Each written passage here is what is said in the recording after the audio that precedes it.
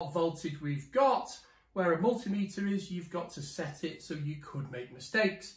We're also going to need a proving unit or some way of proving this on a known supply. Now, the two-pole tester needs inspecting before we use it. So first of all, check and make sure there's no breaks in the cable. The actual device itself looks in good working order. And we touch the two ends together to make sure the battery is working. This isn't testing it's working, this is just testing the battery's okay. Then we can use our proving unit to be able to test that this is working. So we place our black lead onto the black mark, then the red one onto the red one, and as you can see, this is testing, we've got 230 volts.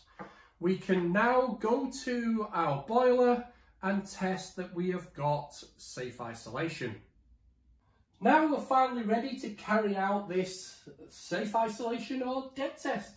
Now, because this is supplied via a plug top, what I like to do first is use my black lead onto the earth connection or the, uh, the screw or the plug top, which should be earth, then take this end and go onto the earth itself and make sure we do have continuity. So this is earthed even though we've pulled the plug completely out of the socket. Now the test itself, I'm going to go between my neutral and live to see if I've got any voltage. Neutral first and live. No voltage there. Then I'm going to go between my earth and live. Nothing there and then I'm going to go between my earth and neutral and there's nothing there.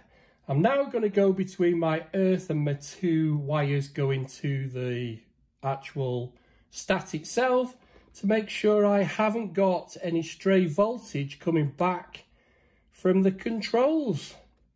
As you can see, there's nothing. But first of all, before I touch any of this, I need to make sure this is still working. Now, before we actually touch the wires on the boiler, we have to prove that this is still working and it hasn't broke from going from the boiler to the proving unit. So, back black on, press them down, and you can see this is still working. So now it should be safe to be able to remove the wires so we can remove this boiler. So that's how you carry out the safe to touch and the safe isolation to Gas Safe's technical bulletin 118A.